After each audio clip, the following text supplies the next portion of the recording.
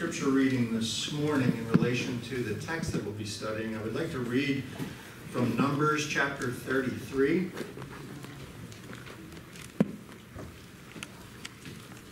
Numbers chapter 33, beginning at verse 50. I'll read through the end of the chapter.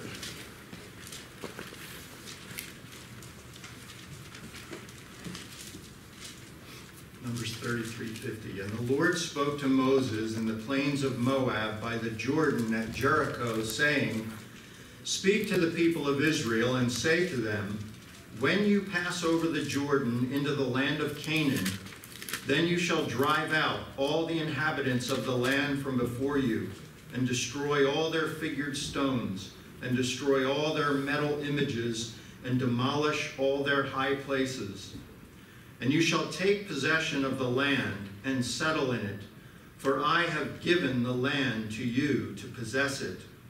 You shall inherit the land by lot, according to your clans. To a large tribe you shall give a large inheritance, and to a small tribe you shall give a small inheritance. Wherever the lot falls for anyone, that shall be his. According to the tribes of your fathers, you shall inherit. But if you do not drive out the inhabitants of the land from before you, then those of them whom you let remain shall be as barbs in your eyes and thorns in your sides, and they shall trouble you in the land where you dwell. And I will do to you as I thought to do to them. Let's pray and ask for God's blessing on our study of His Word. Our Father in heaven, we come before you this morning in the, the name of that one who shall have dominion from land to sea. We come to you in the name of our Lord Jesus Christ, who even now is putting his enemies under his feet.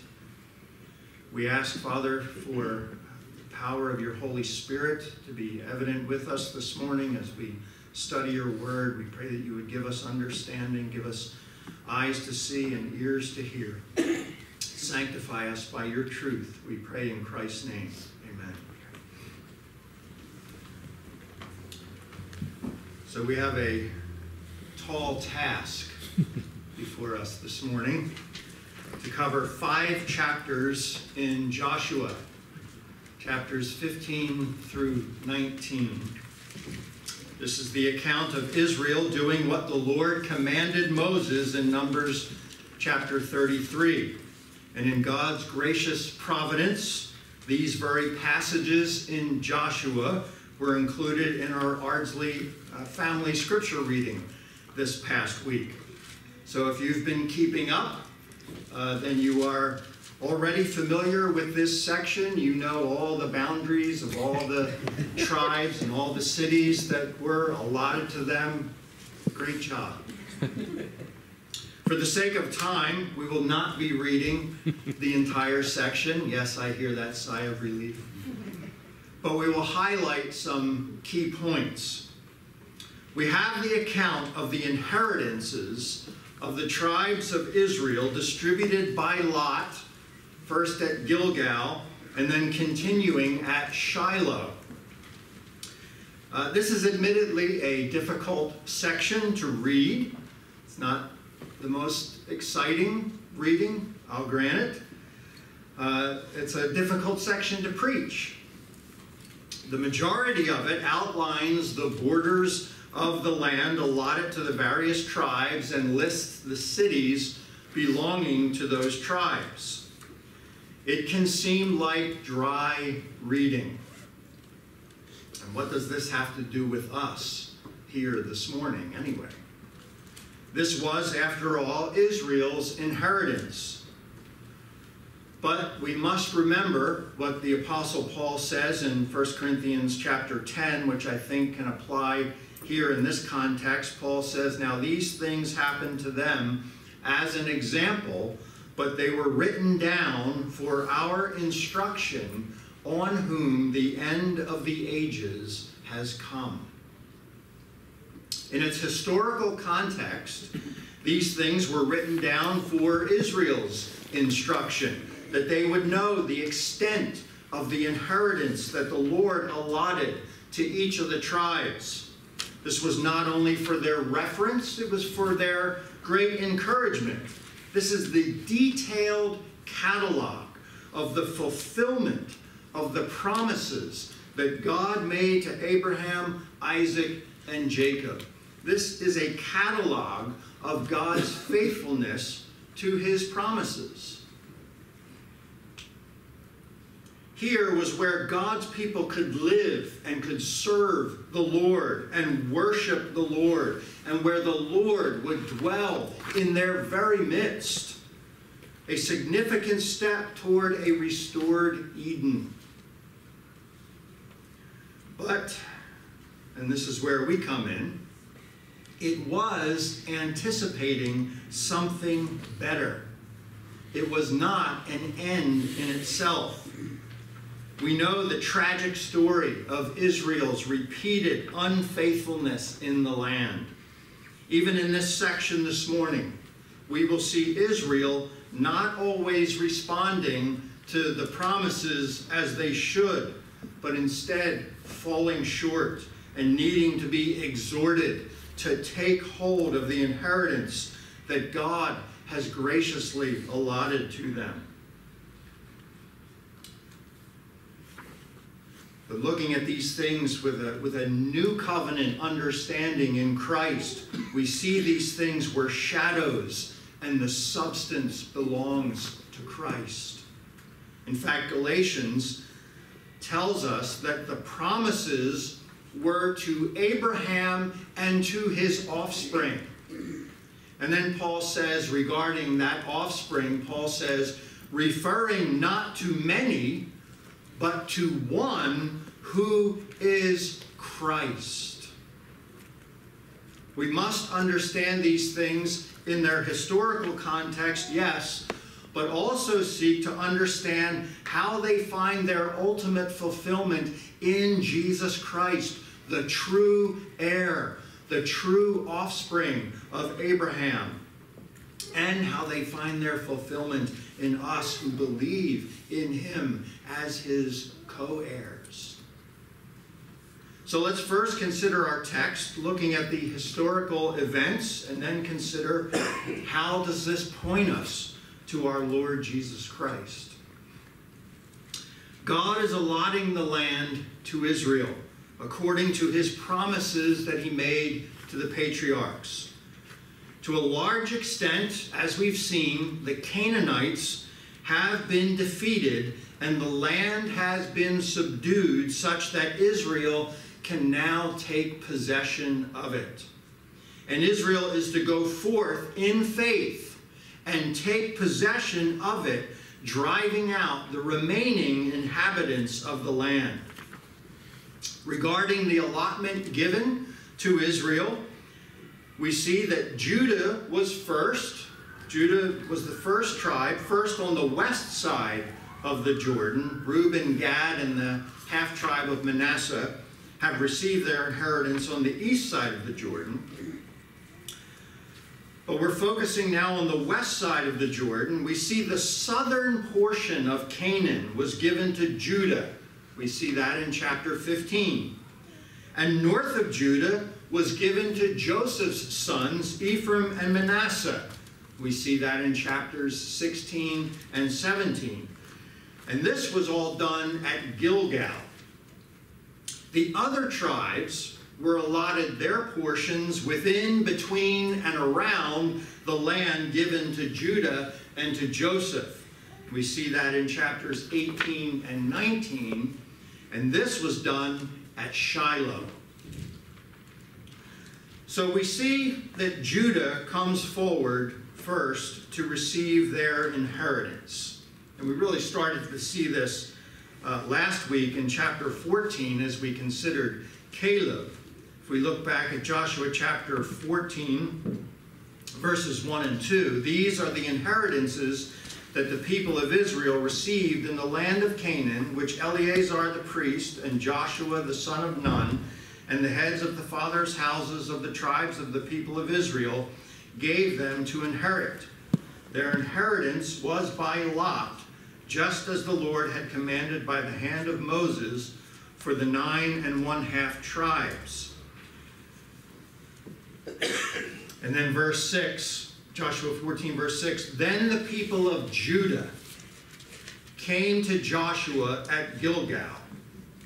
And Caleb, the son of Jephunneh the Kenizzite, said to him, You know what the Lord said to Moses, the man of God, in Kadesh Barnea concerning you and me. Caleb enthusiastically asked for his inheritance, and Joshua gave it to him. And Caleb went out in faith and conquered it and took possession of his inheritance within the allotment for Judah. And chapter 15 gives us detailed survey of the boundaries and cities of Judah's inheritance in the land. And their portion is very large. And in chapter 19, in fact, we see that the tribe of Simeon will actually be given a portion within Judah. Judah had such a large portion. Judah gets a large portion with many cities, including Jerusalem. But here we see our first problem. Chapter 15, verse 63. But, but the Jebusites, the inhabitants of Jerusalem, the people of Judah, could not drive out. So the Jebusites dwell with the people of Judah at Jerusalem to this day. Problem. They were supposed to drive out all the inhabitants of Canaan, taking full possession of the land. But here we see Judah could not drive out the Jebusites from Jerusalem. Why not? What's wrong? Why were they unable to drive them out? Well, certainly, this was not the fault of God. No blame can be laid upon God for this failure. God, who had commanded them to drive out the inhabitants of the land, God, who had, who had promised them success in driving out the inhabitants of the land. There's no legitimate excuse here for failing to drive the Jebusites out of Jerusalem. John Calvin said it was owing entirely to their own sluggishness that they did not make themselves master of the city of Jerusalem. It was their neglect of the divine command from a love of ease. Right? They probably got a little complacent, a little a little too maybe, maybe weary and just got tired of the whole thing and neglected to drive the Jebusites out. And it was not until many years later, after David was anointed king, that Jerusalem would be taken from the Jebusites when David went and took it from them.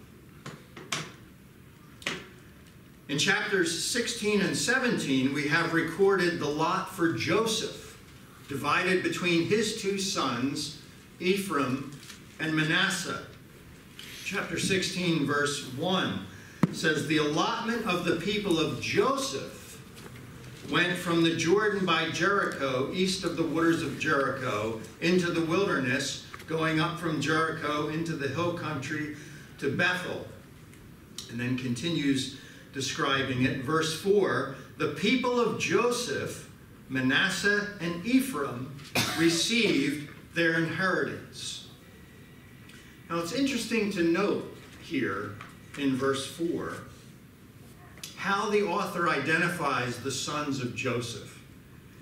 He says, The people of Joseph, Manasseh and Ephraim, received their inheritance. Manasseh was Joseph's firstborn, if you remember from Genesis. So Manasseh is naturally listed here first. But we see, when we see the lots falling to the sons of Joseph, we see that the lot that fell, we see the lot that fell to Ephraim first. The sons of Joseph, Manasseh and Ephraim, but then we get Ephraim's lot first, beginning in verse 5. The territory of the people of Ephraim by their clans was as follows. Remember when Jacob blessed Joseph's sons back in Genesis chapter 48? What did he do? He gave the blessing to Ephraim first, putting him before Manasseh, which displeased Joseph because Manasseh was the firstborn, not Ephraim, and Joseph tried to move Jacob's hands. So Joshua here seems to follow the same pattern. Yes, Manasseh is the firstborn, verse 4, but Ephraim's territory is allotted first before Manasseh, verse 5 through the end of chapter 16. But note again, chapter 16, verse 10. However, they did not drive out the Canaanites who lived in Gezer. So the Canaanites have lived in the midst of Ephraim to this day but have been made to do forced labor. Another failure. Another failure on the part of Israel in taking possession of their inheritance. They did not drive out the Canaanites who lived in Gezer. Again, why not? Well, perhaps they did not drive them out because of the use they could they felt they could make of them. Why devote them to destruction, perhaps they thought, when they seem rather skilled and can be used to our advantage? Well, if they had the power to subject them to forced labor, certainly they had the power to devote them to destruction. But they didn't. We see here they did not obey the Lord's command and failed to fully possess their inheritance. Next, we have the allotment to Manasseh. Chapter 17, reading verses 1 and 2. Then the allotment was made to the people of Manasseh, for he was the firstborn of Joseph. To to Machir, the firstborn of Manasseh, the father of Gilead, were allotted Gilead and Bashan because he was a man of war. And allotments were made to the rest of the people of Manasseh by their clans Abiezer, Helek, Asriel, Shechem, Hepher, and Shemida. These were the male descendants of Manasseh, the son of Joseph, by their clans. So the allotment to Manasseh's firstborn, Machir, or Maker, was on the east side of the Jordan. This is the half tribe of Manasseh that had received their inheritance on the east side. The rest of the sons of Manasseh had their lot on the west side to the north of Ephraim, as is outlined here in chapter 17. Regarding Manasseh's allotment, we have this interesting account of the daughters of Zelophehad. We read of them back in Numbers chapter 27. Their father died in the wilderness, but had no sons, only daughters. And his daughters approached Moses and Eleazar the priest and asked for a possession among their father's brothers so that the name of their father would not be taken away. They wanted their father to have a share in the inheritance. And the Lord told Moses, they're right. They're right. And they are to receive an inheritance among their fathers. So here in Joshua chapter 17, verses 3 through 6, they come to Eleazar and to Joshua and they remind them of the Lord's command concerning them. They're asking for their inheritance. And it reminds me somewhat of Caleb. As Caleb came to Joshua asking for his inheritance based on the Lord's promise. So the daughters of Zelophehad come to Joshua asking for their inheritance on the basis of God's promise to them. This was bold faith in the promise of God. So Joshua gave them an inheritance among the brothers of their father. But not all the people of Manasseh had such bold faith as the daughters of Zelophehad did. Chapter 17, verses 12 and 13. We read, Yet the people of Manasseh could not take possession of those cities, cities that were allotted to them, but the Canaanites persisted in dwelling in the land. Now, when the people of Israel grew strong, they put the Canaanites to forced labor but did not utterly drive them out. Again, strong enough to put the Canaanites to forced labor, but not strong enough to utterly drive them out. Here we have another example of unbelief and disobedience on the part of Israel, failing to take full possession of their inheritance. And we see yet another problem. The people of Joseph expressed discontentment with their inheritance, complaining that it's not enough. They need more. Chapter 17, beginning at verse 14. Then the people of Joseph spoke to Joshua, saying, Why have you given me but one lot and one portion as an inheritance? although I am a numerous people, since all along the Lord has blessed me. And Joshua said to them, If you are a numerous people, go up by yourselves to the forest, and there clear ground for yourselves in the land of the Perizzites and of the Rephaim, since the hill country of Ephraim is too narrow for you.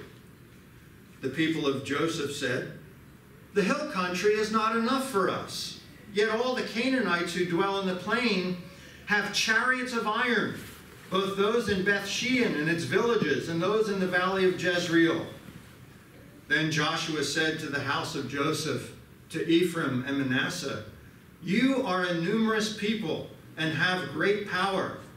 You shall not have one allotment only, but the hill country shall be yours. For though it is a forest, you shall clear it and possess it to its farthest borders. For you shall drive out the Canaanites, though they have chariots of iron, and though they are strong. So they complained about the lot that fell to them, the lot given to them by the Lord. Right? It fell to them by lot, and it was the Lord who determined what inheritance they received. But they were dissatisfied, thinking they should have more. We don't, we don't like the lot that the Lord has given us. They were distrusting, not believing that nothing is too hard for the Lord, even though the Canaanites have tanks, these iron chariots.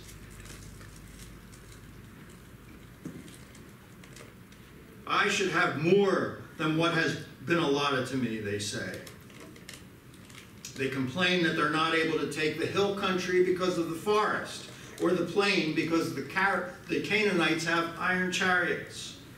I should have more than what's been allotted to me. Well, you have the hills. Nope, too many trees. What about the plains? The enemy's too strong excuses that cannot square with the fact that the Lord has indeed blessed them, as they said, and has promised to be with them and give them success. They had forgotten the words of Deuteronomy chapter 7. Deuteronomy chapter 7, verses 17 to 21. If you say in your heart, These nations are greater than I, how can I dispossess them? You shall not be afraid of them, But you shall remember what the Lord your God did to Pharaoh and to all Egypt, the great trials that your eyes saw, the signs, the wonders, the mighty hand, and the outstretched arm by which the Lord your God brought you out. So will the Lord your God do to all the peoples of whom you are afraid.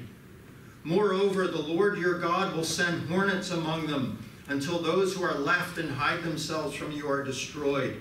You shall not be in dread of them, for the Lord your God is in your midst, a great and awesome God. A great and awesome God. Again, Deuteronomy chapter 20, verse 1.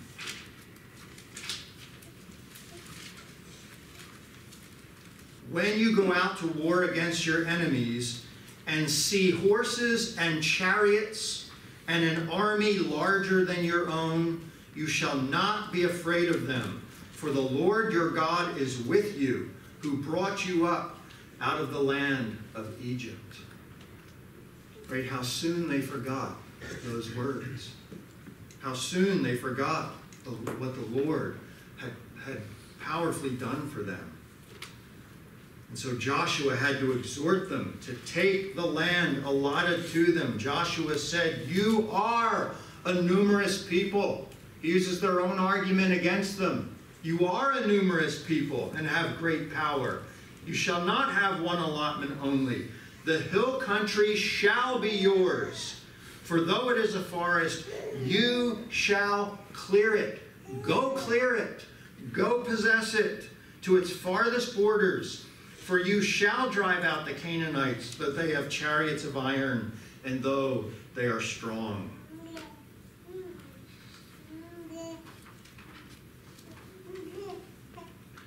So we have the allotment for Judah, we have the allotment for the sons of Joseph, Ephraim, and Manasseh. And now, before we have the allotment of the remaining tribes, we have in, in the middle of our passage this morning, in the, in the middle of this whole section, we have these great words of fulfillment and blessing. Here is the crown of their inheritance. Chapter 18, verse 1. Then the whole congregation of the people of Israel assembled at Shiloh and set up the tent of meeting there. The land lay subdued before them. The whole congregation of the people, all the tribes of Israel, assembled there in Shiloh. This was a solemn and glorious occasion. There they set up the tent of meeting, the tabernacle, the place where they would meet with God. Here we have the people of God in the very midst of their inheritance assemble before the Lord, where the Lord will now dwell in their midst. Though not stated directly here, the choice of Shiloh being the place where the tabernacle would be set up at this time was in fact directed by the Lord. Jeremiah uh, chapter 7, uh, be, beginning of verse 12, God says, Go now to my place that was in Shiloh. Right? Many years later, in the days of Jeremiah, God says, Go now to my place that was in Shiloh, where I made my name dwell at first. Right? This was God's choice. This is where God had determined at that time to make his name dwell. Recalls the words of Deuteronomy chapter 12 But when you go over the Jordan and live in the land that the Lord your God is giving you to inherit, and when he gives you rest from your enemies around so that you live in safety, then to the place that the Lord your God will choose to make his name dwell there. There you shall bring all that I command you your burnt offerings and your sacrifices, your tithes and the contribution that you present, and all your finest vow offerings that you vow to the Lord. and you shall rejoice before the Lord your God. You and your sons and your daughters, your male servants and your female servants, and the Levite that is within your towns. Right? That's what we have going on here. The establishment of this at Shiloh. Now they are living in relative safety. The Canaanite strongholds have been defeated. The Canaanite kings have been slaughtered. The end of verse 1, chapter 18, verse 1 says, The land lay subdued before them. And so all the people gathered together to rejoice before the Lord and to set his name there as God had commanded in Deuteronomy 12. And Shiloh was an ideal location for this. Shiloh was located in the land of Ephraim. It was about eight hours north of Jerusalem. It was more central in the land than even Jerusalem was. Shiloh means rest.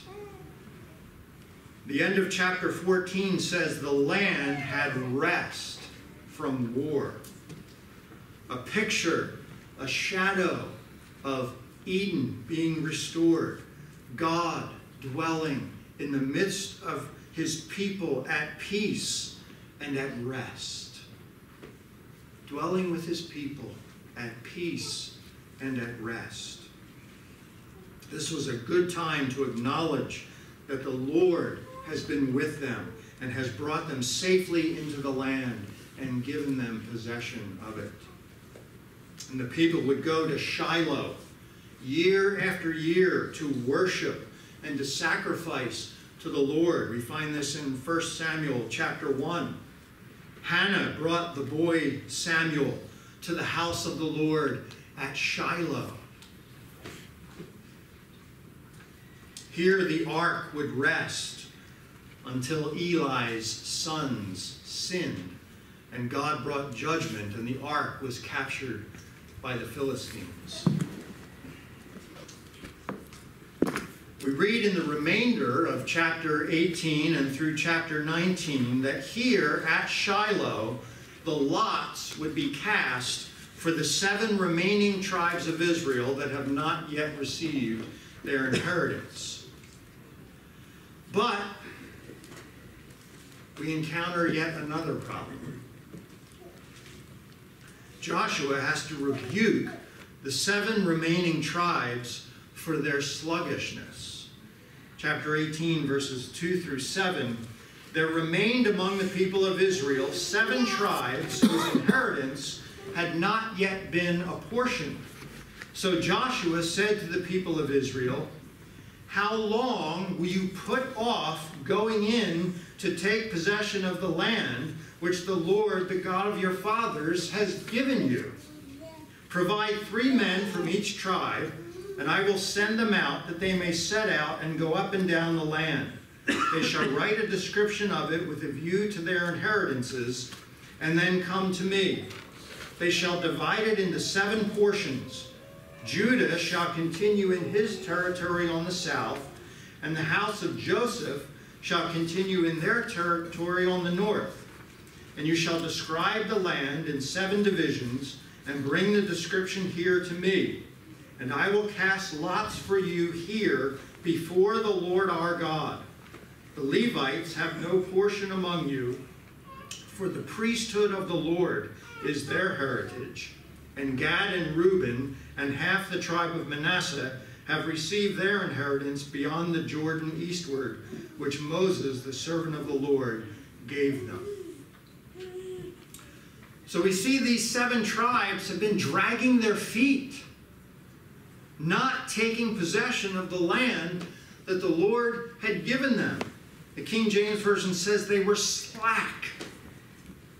They were being sluggish about it.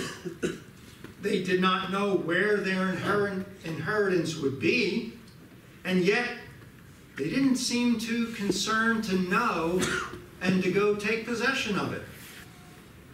They did not come to Joshua asking for it. Joshua had to exhort them. So Joshua instructs them to survey the land that remains to be allotted. And Joshua cast lots for them in Shiloh before the Lord. And this, this fact that the lots were cast in Shiloh before the Lord is stated several times throughout this passage, emphasizing the fact that these allotments have been determined by the Lord. These are given to them by the Lord. Now, we won't take the time to go through the allotments of these seven tribes, but we'll jump ahead to the close of chapter 19, where we find Joshua's inheritance. We started with Caleb's last week in chapter 14, right? Caleb being part of the tribe of Judah. So we saw Caleb's inheritance first.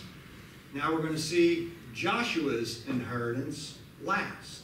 And everything else came in between these two great heroes of faith, Caleb and Joshua.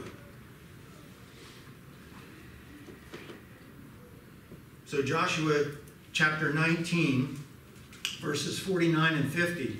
When they had finished distributing the several territories of the land as inheritances, the people of Israel gave an inheritance among them to Joshua the son of Nun by command of the Lord, they gave him the city that he asked, Timnath Serah, in the hill country of Ephraim. And he rebuilt the city and settled in it. Now, note that Joshua received his inheritance last of all. He was the last one to receive his inheritance.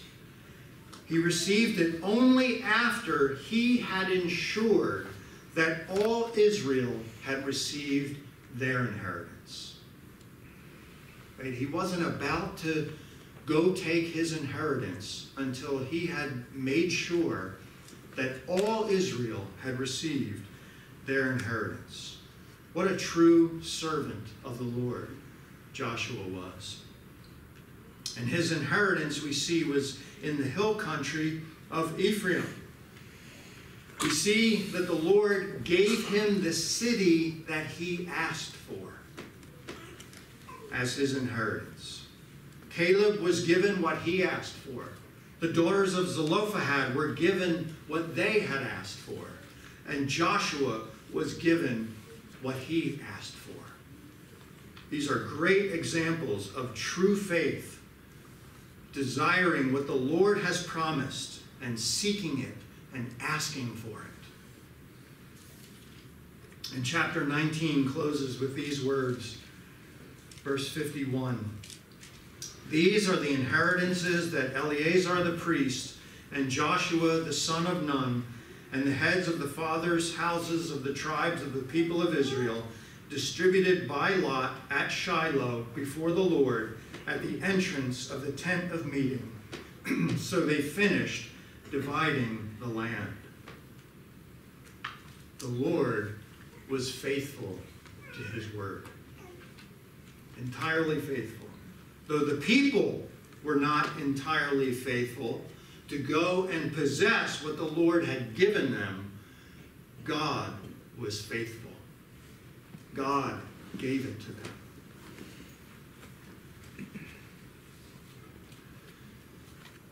So, what does any of this have to do with us this morning? Well, I think we must see the inheritance of the land in its context in the unfolding of redemptive history. We must see it in its context in the unfolding of redemptive history. And we must view it centered in Jesus Christ, who is the center of all things. We must view it as part of the plan of redemption. The plan of redemption leading up to the incarnation of the Son of God, born as a man from the tribe of Judah, Jesus Christ, the Son of David, the son of Abraham. This was the land of his humiliation, where he lived as a servant in perfect obedience to the Father, obedience even to the cross. This was the land in which he would be crucified, buried, and raised from the dead. This is the land from where he would ascend into heaven to be seated at the right hand of God. The land functions typologically. When we look at, at the New Testament, we see that the land functions typologically, pointing us to a better country, pointing us forward to something better, pointing us to a world redeemed by Jesus Christ, with God dwelling in the midst of a redeemed humanity, in the midst of a people who are truly at rest. It is Jesus Christ, the book of Hebrews tells us. It is Jesus Christ, not Joshua, who gives us true rest. The new covenant in Jesus Christ enlarges the tent, bringing the nations into the family of Abraham. Right, Isaiah chapter 54, the prophet tells Israel, You're going to need a bigger tent. You're going to need to enlarge the tent. Paul tells us in Romans chapter 4 that the promise to Abraham and his offspring was that he would be heir of the world. He would be heir of the world. Again, Paul tells us in Galatians 3 that Christ is the offspring of Abraham to whom the promises were made. The inheritance was promised to him ultimately. And Paul says that we who are united to Jesus Christ by faith, we who have faith in Jesus Christ, are heirs with Christ. We are sons of Abraham. We are, as Paul says, heirs according to promise. We are the heirs of the promises to Abraham given to Christ. And as Caleb and Joshua and the daughters of Zelophehad asked for their inheritance, so Jesus asked for his inheritance from the Father after his resurrection and ascension. Psalm 2 God says to his Son, whom he has set as king on his holy hill of Zion. God says to him, Ask of me, ask of me, and I will make the nations your heritage, and the ends of the earth your possession. Ask of me.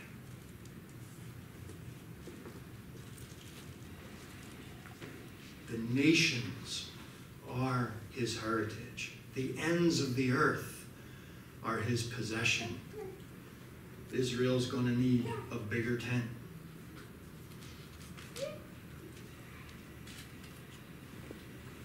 Jesus instructed his disciples in the Sermon on the Mount in Matthew chapter 5, saying, Blessed are the meek, for they shall inherit the earth.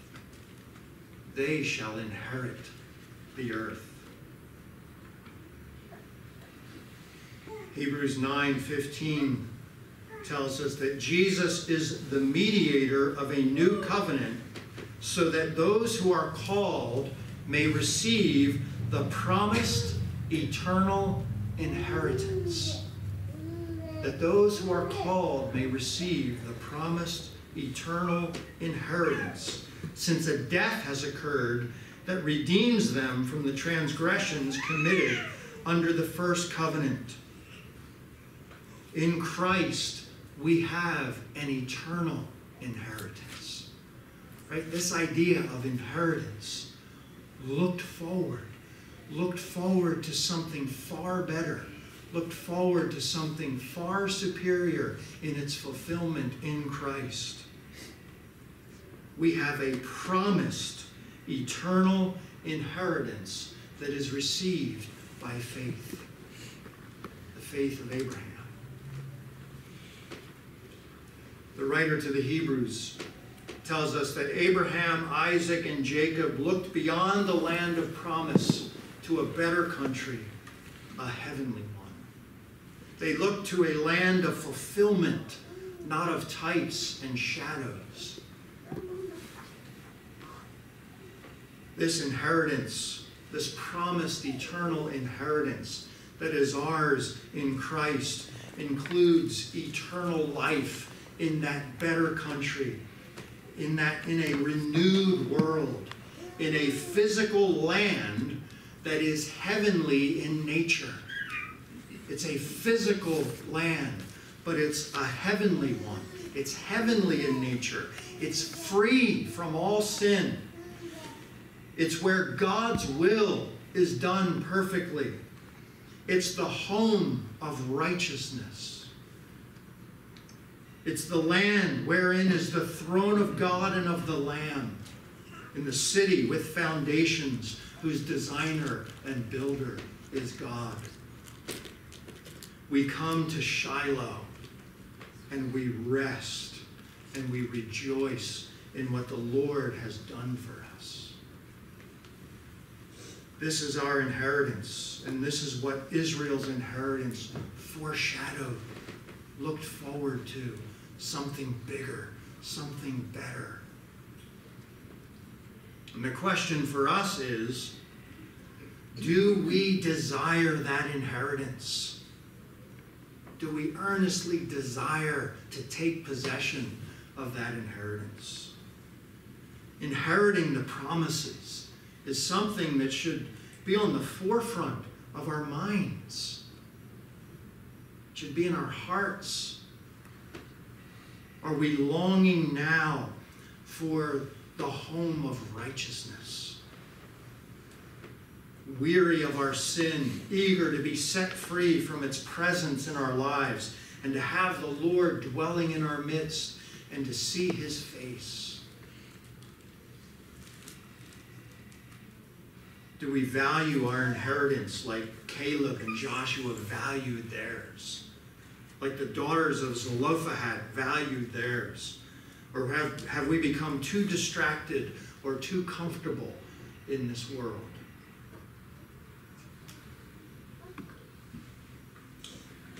The writer of Hebrews tells us that Jesus will appear a second time to bring salvation to those who are eagerly waiting for him. Those who are eagerly waiting for him. Are we eagerly waiting for him? Are we eager to inherit the promises?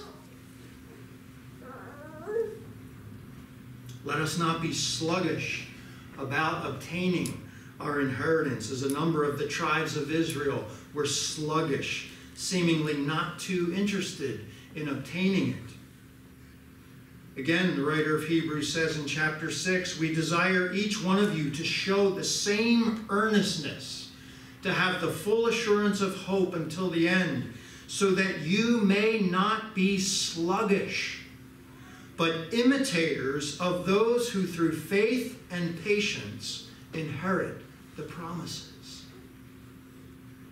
That you may not be sluggish. The writer of Hebrews is trying to, to warn them against sluggishness concerning the promised etern- eternal inheritance. Do not be sluggish, but be imitators of those who through faith and patience inherit the promises. We inherit the promises through faith and patient waiting. But at the same time, there is to be an earnest striving, an earnest striving to enter God's rest, an earnest striving to have, as the author says in chapter 6, the full assurance of hope until the end.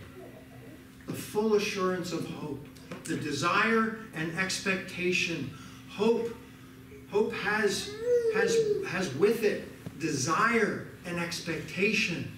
We're to have the full assurance of hope firm until the end, desire and expectation for the inheritance of salvation. Hardship and difficulty and persecution can tempt us to lose hope. And sin can lead us astray. Sin can lead us to go astray in our hearts and seek other things than this promised eternal inheritance. And so we are to fight doubt and despair. And we are to war against our sin. We are to hold fast to Jesus, firm to the end, holding a firm conviction as to the truthfulness of the gospel, a firm conviction as to the certainty that Jesus loves us, that Jesus saves us, that Jesus completely forgives us, that he makes us his co heirs, and that he brings us safely to glory, that he brings us to that inheritance that is imperishable, undefiled, and unfading.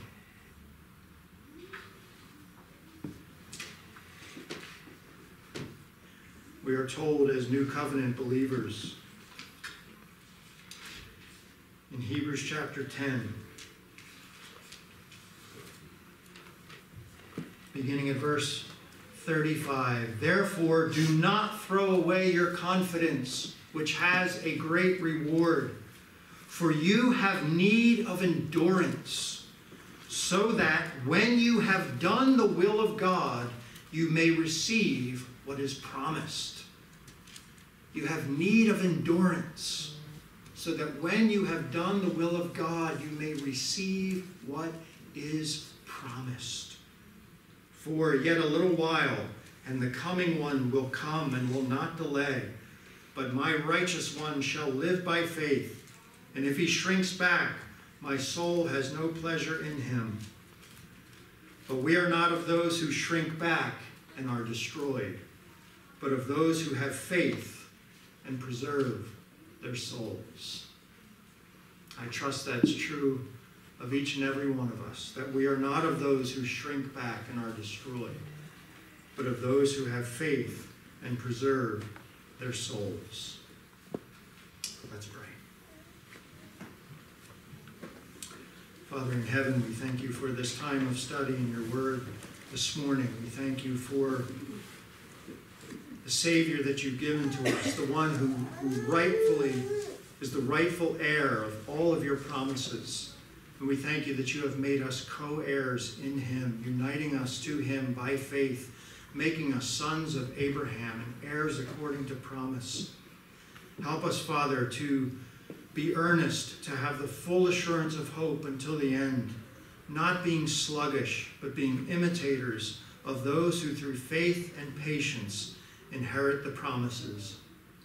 We thank you for the inheritance that you have waiting for us one that is imperishable, undefiled, and unfading. And we give you our praise in Jesus' name. Amen.